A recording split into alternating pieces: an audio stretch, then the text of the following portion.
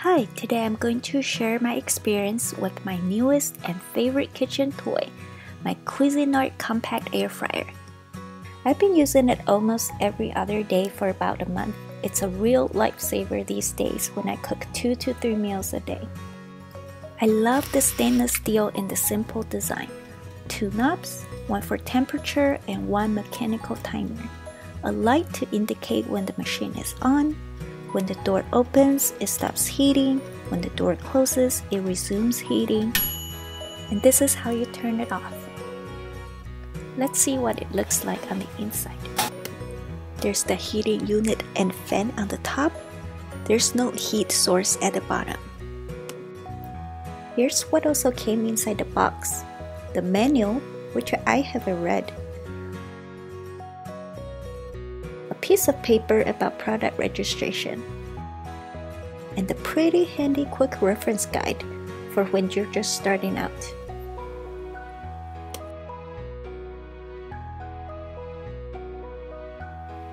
I'm taking measurements of the frying basket for your information. It measures about 10.7 inches long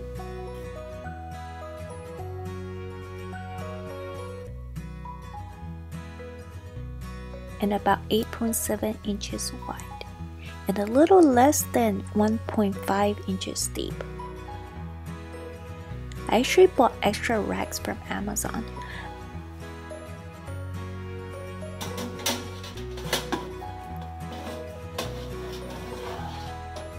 As you can see, it's a little longer than the drip pan in the frying basket,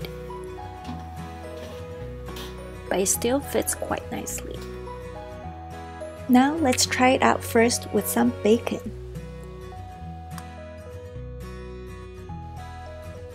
First, I'm covering the drip pan with some aluminum foil.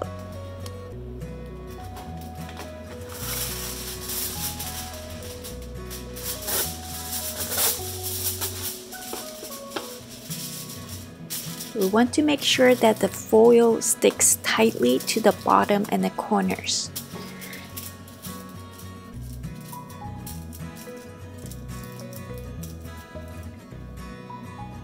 So that when you put the basket on, the legs don't poke holes.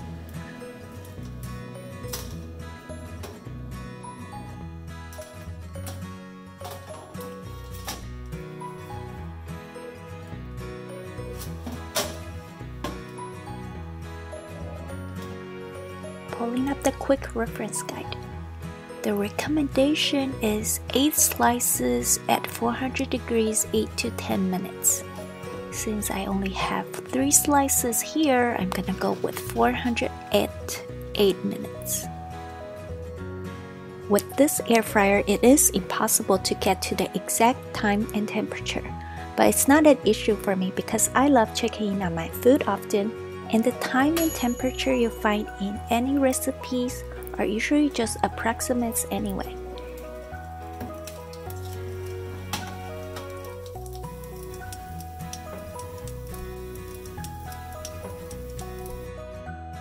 Now let's try some extra thick bacon. Just kidding, these are marinated short ribs or Korean kalbis. Since I just burned my previous batch with 20 minutes at 425 degrees, I'm going to set it at just 15 minutes this time.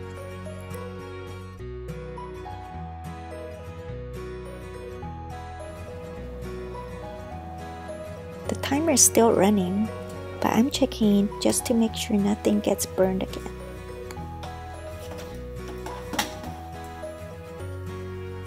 These look perfect cooked evenly on both sides, slightly brown on the outside but juicy and tender inside.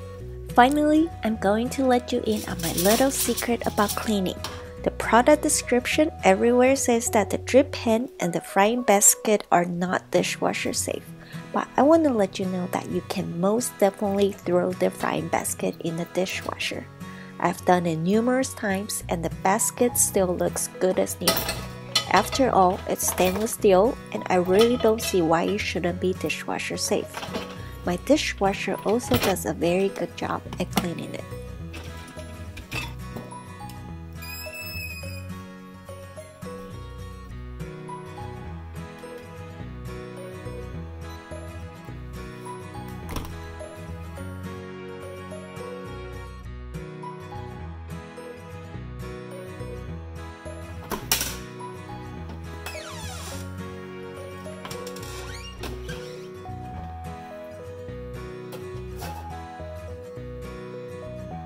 On the other hand, it's true that the drip pan is not dishwasher safe. This went inside the dishwasher and has been flaking ever since. There's more cleaning to be done. Since most of the internal space is non-stick coated, you can easily wipe most of it down with a cloth wet with warm water and no cleaning agent. Be sure to wait at least 20 minutes or so because the coils can still be hot.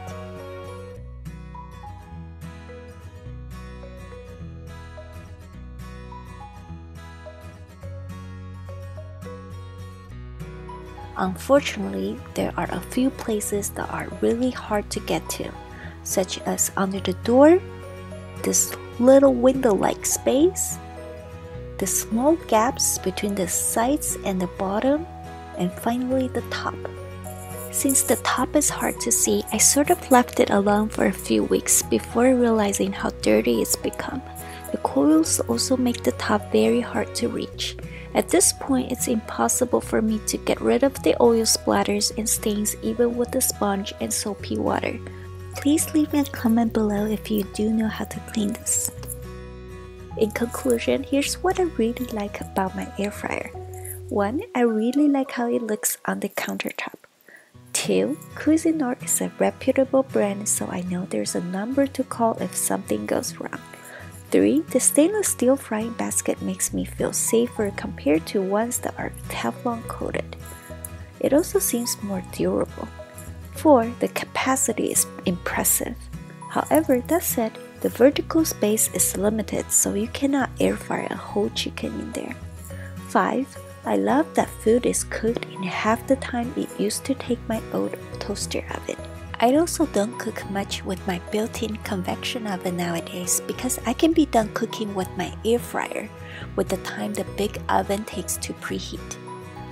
Finally, and perhaps most importantly, with enough oil, this air fryer is no doubt powerful enough to give any food the desired frying effect. Now, onto a few things I don't really like about it. First, again, the limited vertical space. Food that's taller than the top of the basket gets burned quite easily. Second, I think if there were heating source at the bottom, some of the flipping and preheating may be avoided. 3. A light in the oven would make checking in on the food easier. 4 and 5 are just me not being very happy about all the interior space that needs to be wiped down. All in all, my biggest complaint is about cleaning the interior space, but I'm still happy about my purchase. After all, it really is a huge step up from my old non-convection toaster oven. However, I would not recommend it to anyone who likes their appliances sparkling clean inside and out, or if you don't have a dishwasher to clean the frying basket. That's it, I'll be making more cooking videos with my air fryer. If this review is helpful to you, please like and subscribe.